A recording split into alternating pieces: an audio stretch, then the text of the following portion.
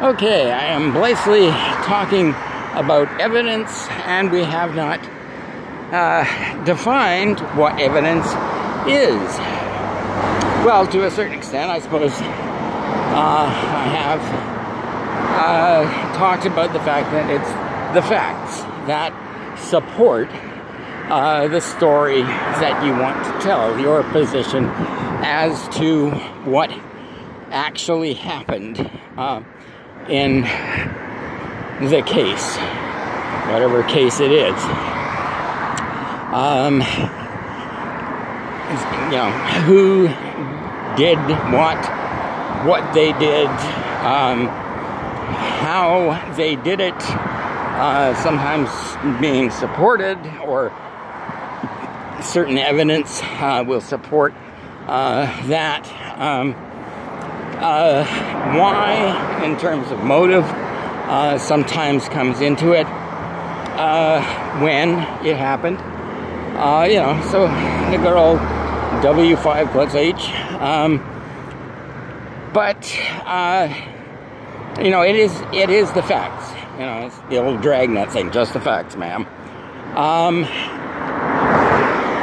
because it's not necessarily just, you know, microscopic traces of DNA or hairs or fibers or blood spatter, all, the, all those types of things. Um, in fact, witness testimony is evidence. And that is why witnesses are primarily witnesses of fact. They are saying the facts, what they saw, what they heard. And you know, that is considered to be a fact unless somebody else from the other side comes up with uh, other testimony that says, no, I saw this or I heard that, which contradicts what this other person says. And then you have to start uh, either gathering other supporting evidence as to why one side's testimony or the other's is uh, impossible or uh,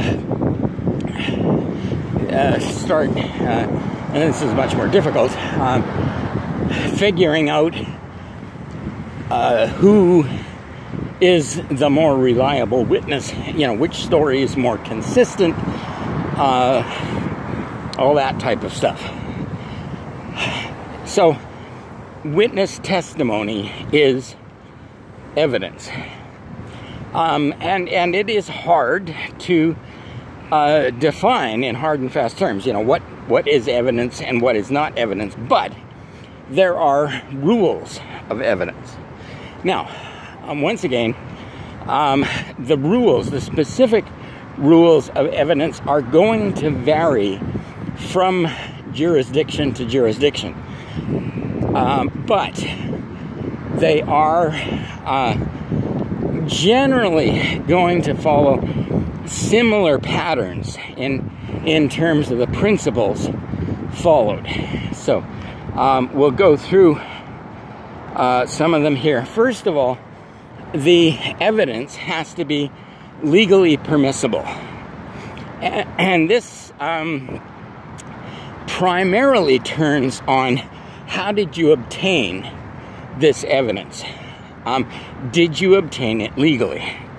And if you have evidence, um, but you didn't obtain the evidence legally, uh, then no, that's that's not evidence. That's not acceptable. And so we do have um, things like search and seizure rules for search and seizure. Um, you have to have uh, probable cause, uh, you know, stuff like that.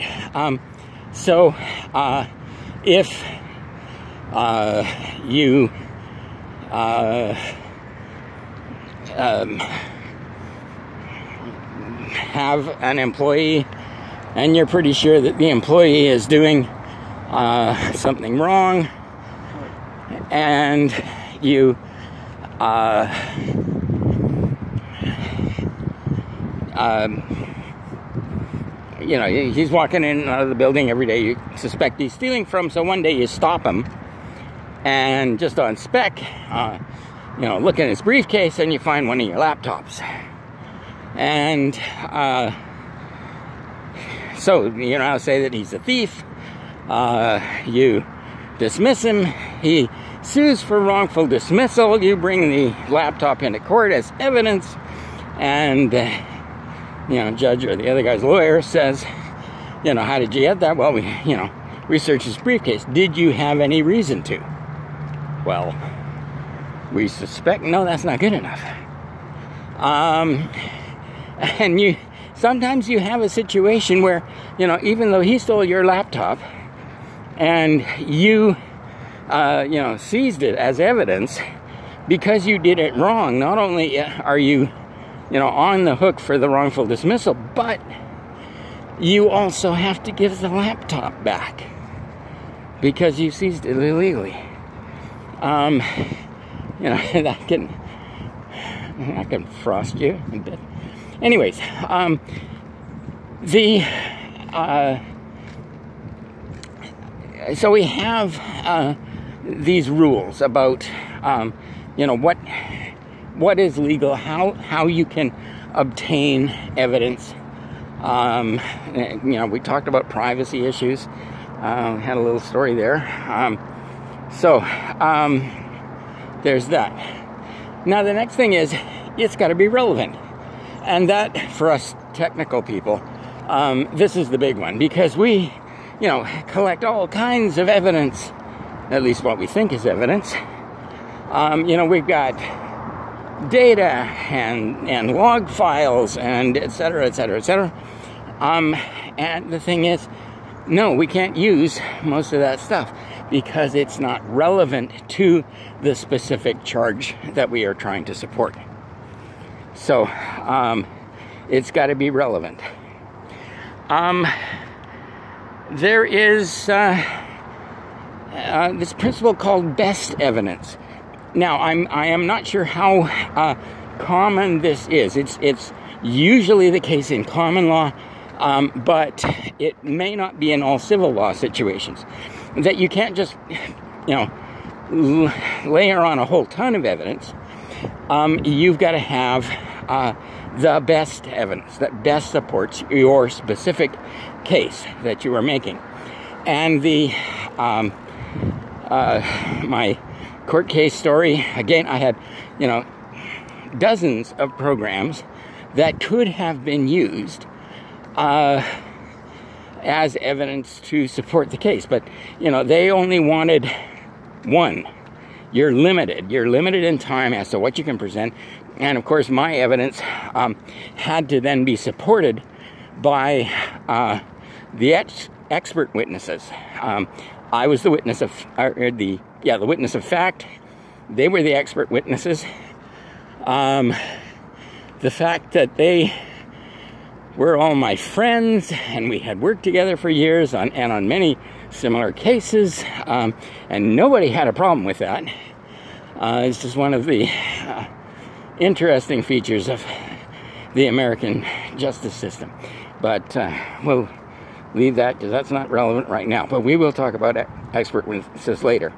Um, it's got to be complete. It, it makes the case. Um, it has to be accurate. And there has to be a foundation of admissibility. And we will talk about that next time.